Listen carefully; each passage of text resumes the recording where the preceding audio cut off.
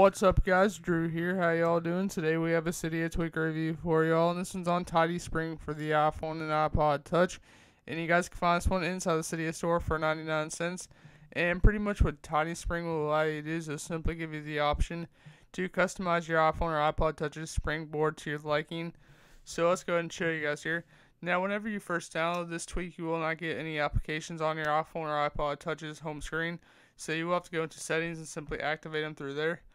So first things first, let's open up settings. Simply scroll down until you find your tweak, and right there it is, TidySpring. So let's go into it. Now inside here's where you're going to customize your home screen to your liking. So pretty much after you picked one, you will have to respring your device. So it does require a respring to apply changes. So let's go ahead and go over the ones that are actually on here.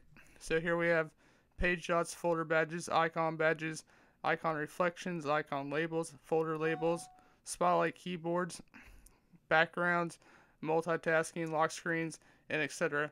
So as you guys can see, you can do a whole bunch of stuff with this. All you simply have to do is just turn it on and simply respring your device. So that's pretty cool. So now I'll show you guys on how to get this tweak. So first things first, open up Cydia. just let Cydia load up. And after Cydia is loaded up, head on over to search. Up on the search bar, you're going to type in TidySpring. Right there it is. Go ahead and click on it. Inside of here, you're going to go ahead and click on Purchase, Install, then Confirm. It's 99 cents. And then it should ask you to respring your device. And there you go. Have fun with TidySpring, guys. This has been Drew. If you like the video, go subscribe right up there. Give this video a thumbs up. Drop your comments down below. And uh, follow us on Facebook and Twitter. The link is in the description. And we'll see you guys in the next video. I'm out. Later.